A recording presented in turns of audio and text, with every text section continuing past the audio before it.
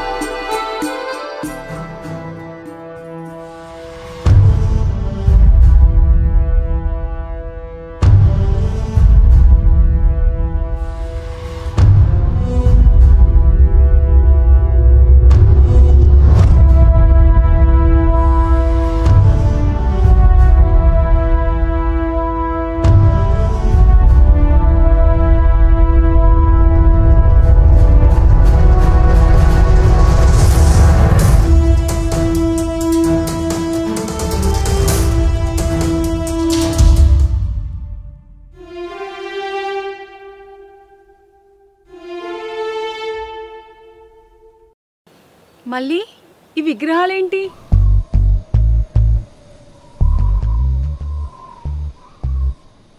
ఎవరన్నట్లు అంతా?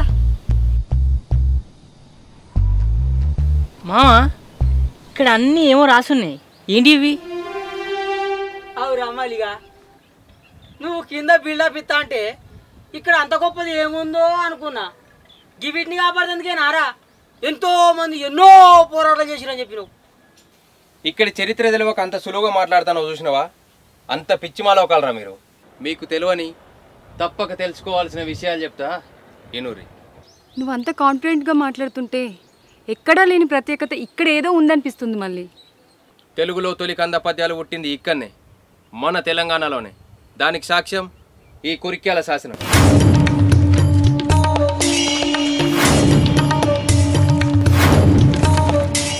తెలుగు ఆదికవి నన్నయ్య కాదు అని నిరూపించిన ఏకైక శాసనం ఈ కురిక్యాల శాసనం. ఈ శాసనం మన తెలుగు నేలపైన సంస్కృతం కన్నడ తెలుగు భాషలో వెలువడిన పూర్తి నిడివిగల మొట్టమొదటి శాసనంగా గుర్తింపు పొందింది. ఏ ఊకో మామ నీ ఎదురు చల్లకుండా చెప్పండి భలే చెప్తావు నువ్వు. మళ్ళీ తెలుగు భాష మొదటి కవి నన్నయ్య అని పక్క రాష్ట్రం వాళ్ళు అంటారు. మన వాళ్ళు కూడా అదే నమ్ముతారు. అదే చదువుతున్నారు. మరి నువ్వేంది? ఆది కవి అక్కడైనా కాదు ఇక్కడైనా అంటున్నావు? అవును.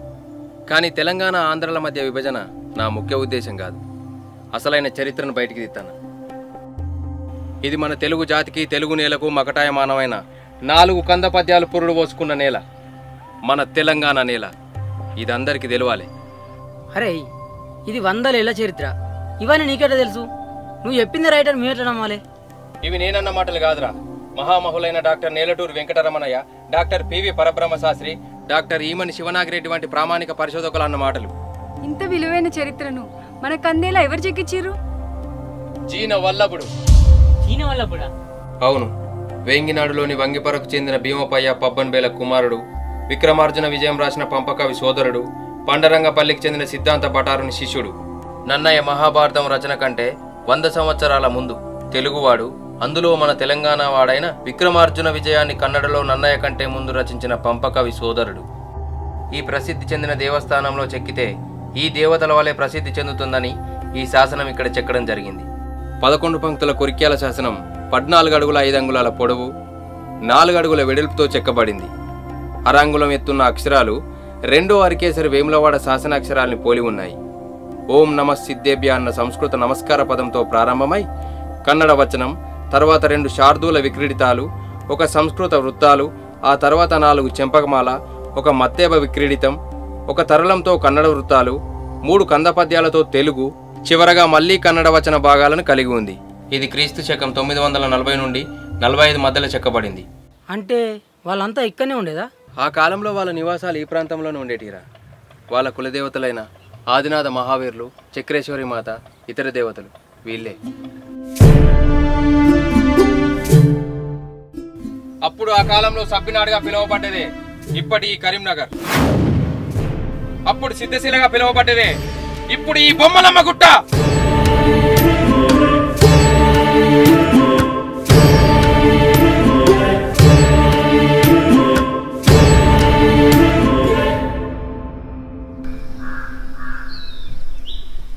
ఈ చెరువేరా జినవల్లభుని కాలంలో తవ్వించబడ్డది.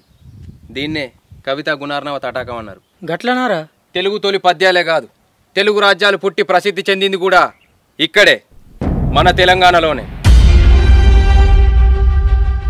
నిజంగా హ్యాట్సప్ టు యూ మళ్ళీ. వెలుగులోకి రాని చరిత్రను వెతికి తీస్తున్నావు చూడు. నిజంగా హ్యాట్సప్ నువ్వు అన్నట్టు ఈ చరిత్రను మనం తప్పకుండా కాపాడుకోవాలరా. ఇవే కాక మన తెలంగాణలో ఎన్నో గొప్ప గొప్ప చరిత్రలు దాగి ఉన్నాయి. వాటిని మనం కాపాడమే కాక ముందు తరాలకు అందించే బాధ్యత మనది.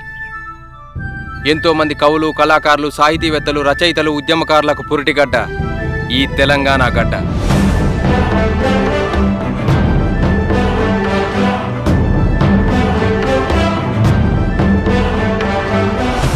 ఈ బొమ్మలమ్మ గుట్ట ద్వారా మరొక్కసారి తన గొప్పతనాన్ని చాటి చెప్పింది